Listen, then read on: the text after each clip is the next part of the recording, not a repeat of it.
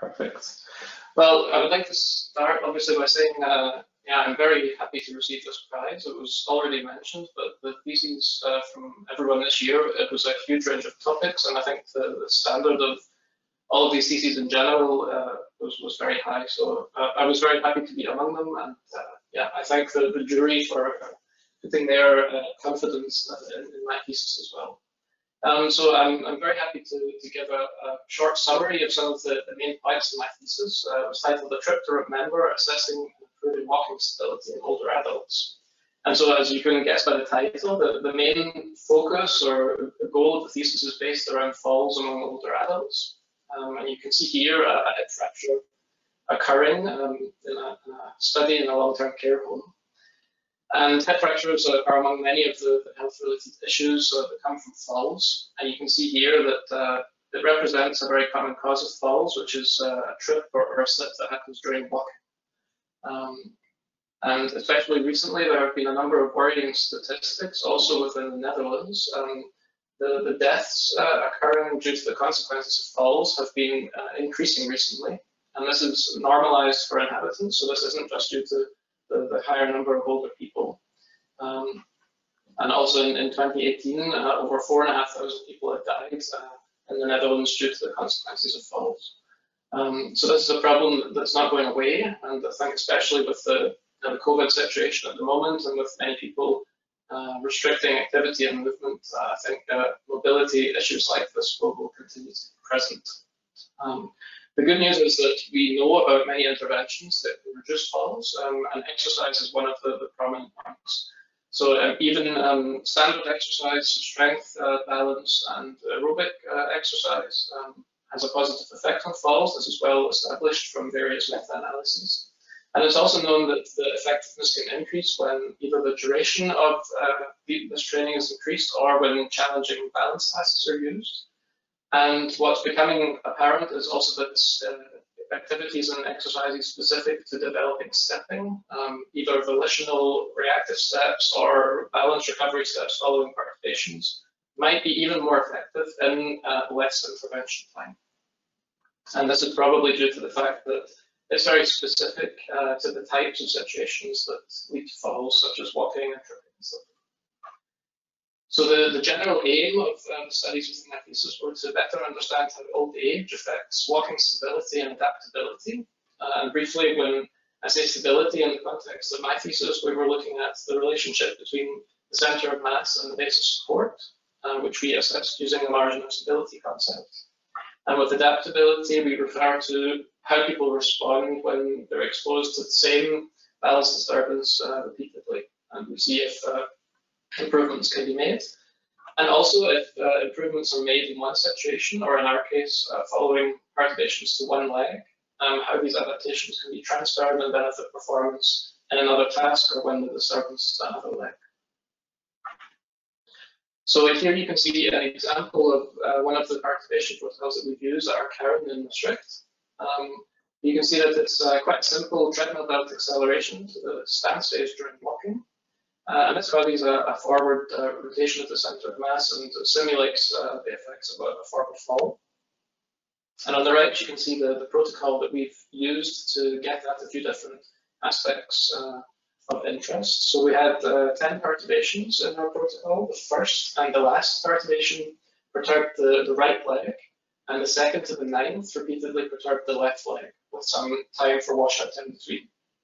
And what this protocol allowed us to look at was first by looking at the first perturbation to each leg, we can just examine walking stability in response to a novel uh, perturbation.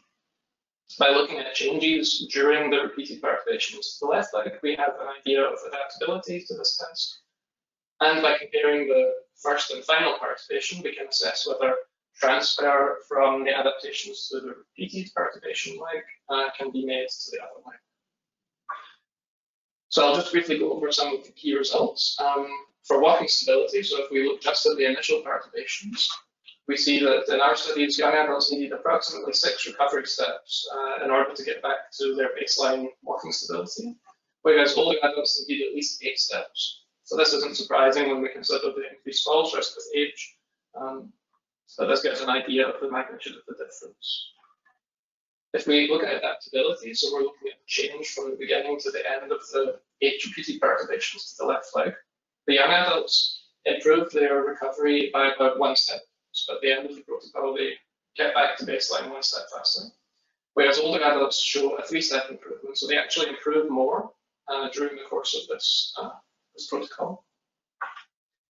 And this is how that's reflected in the results. So on, on the y-axis, you see the margin of stability.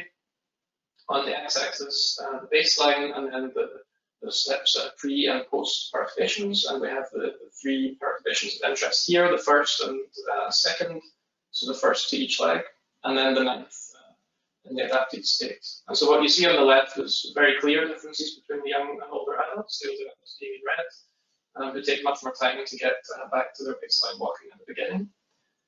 But by the end, in perturbation 9, you see that the, uh, the, the uh, groups overlap uh, almost identical in response. So there's uh, a one-step difference at that point, but you can see that the, the overall stepping behavior is now very similar to these groups.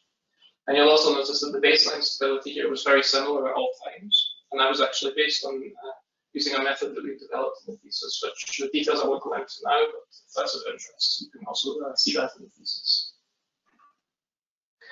Uh, regarding the transfer, this was one of the more uh, interesting findings. Um, in young adults, we didn't see any clear differences between the right leg adaptations. Um, so no interlimb transfer of the adaptations, whereas older adults were able to transfer their entire three-step improvement that we saw in the left leg perturbations to the right leg. Um, and this was uh, unexpected, uh, but interesting. Here, again, you can see the data. So on the left side, we have the data from the young adults, perturbation 1 and 10. And again, these overlap quite a lot, and there are no significant differences.